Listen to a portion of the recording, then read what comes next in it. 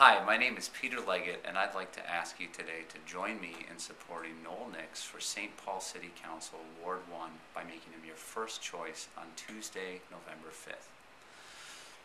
Ward 1 has experienced immense opportunity in the past several years, and we need to keep this momentum going. We have a lot of opportunities to enrich our businesses, our neighborhoods, our commercial corridors, and a, lot of educational opportunities that we need to make sure that we can continue all the great work on. Noel, through his work as legislative aide to Ward 1, has already been engaged in these projects and can surely help this work move forward.